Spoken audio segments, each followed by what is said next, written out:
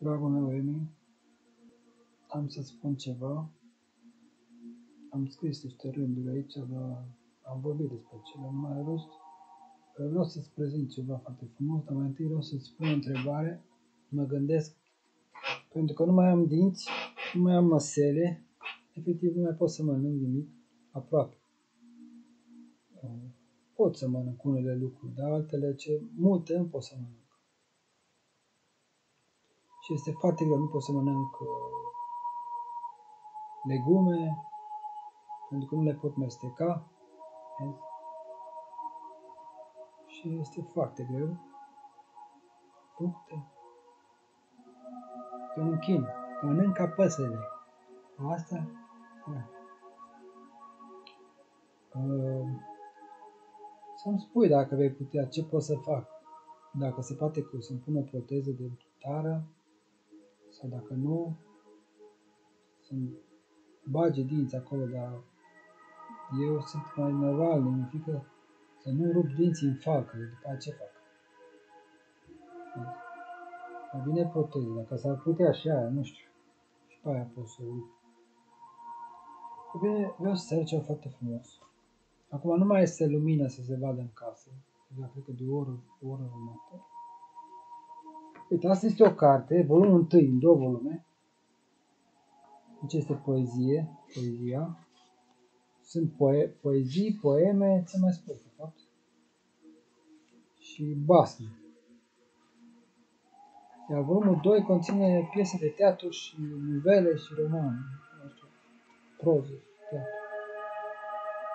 Uh, cum arată? Asta este o poezie să zicem, romantic. Păi și asta este tot romantic. Probabil este 20. Dar uh, asta este, în fine, și asta este despre Ovidiu.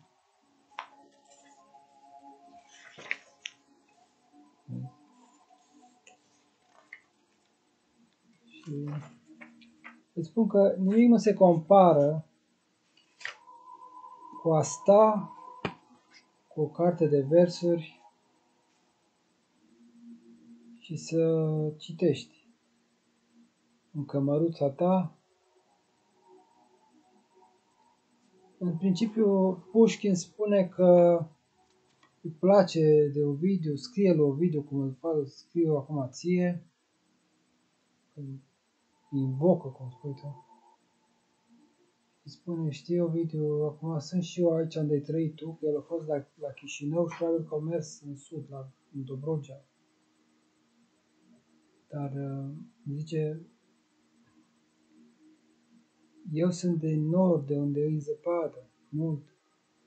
Zice, adevărat că aici e mai multă ziua, dar trece ziua greu. Și zice că și eu uh, am, uh, am suferit, cum ai suferit tu, după 18 veacuri. Și asta ar să zic că e ceva care se trece de la veac la altul. E frumos să citești literatura secolelor.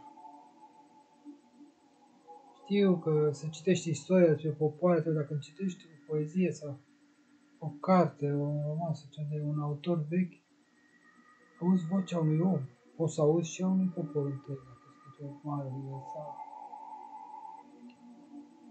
Bine, ce vreau să zic, pe de altă parte, uh, renașterea, umanismul și romantismul și astea au însemnat în parte și întoarcerea la marea poezie antică, romană, greacă, biblică,